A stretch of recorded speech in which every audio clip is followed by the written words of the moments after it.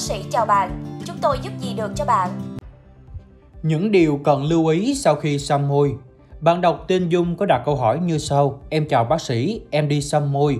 Môi đã bong được gần một tuần, lại tiếp tục bong thêm lớp này tới lớp khác. Không có bị ngứa mà môi hơi sưng và ê. Môi em làm được 21 ngày rồi, mong bác sĩ tư vấn giúp em. Em cảm ơn nhiều. Và câu hỏi của bạn được thạc sĩ bác sĩ Võ Thị Tố Uyên đang công tác tại bệnh viện Thống nhất thành phố Hồ Chí Minh trả lời như sau. Chào bạn, sau phun sa môi có thể có hiện tượng bong tróc da vào thời điểm 2 đến 3 tuần do nhiều yếu tố như là chăm sóc, kỹ thuật, hóa chất sử dụng.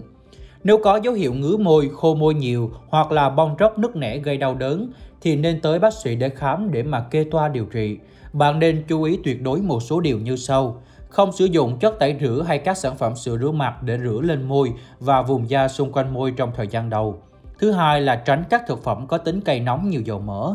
Tiếp đến là luôn vệ sinh môi sạch sẽ sau khi ăn. Không nên sử dụng bất cứ loại mỹ phẩm hay các sản phẩm son màu lên môi trong vòng một tháng. Nên uống nhiều nước và tránh ánh nắng mặt trời bạn nhé. Cảm ơn và chúc bạn thật nhiều sức khỏe.